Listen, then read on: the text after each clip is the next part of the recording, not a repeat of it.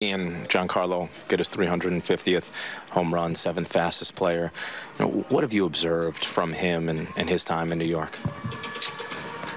Wow. Um, you know, congrats to him for the 350.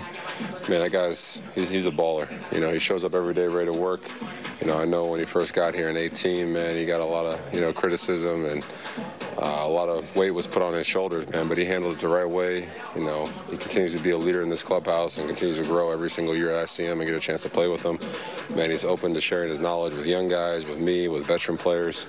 So uh, I'm excited for the next, you know, seeing 450 and 500 homers.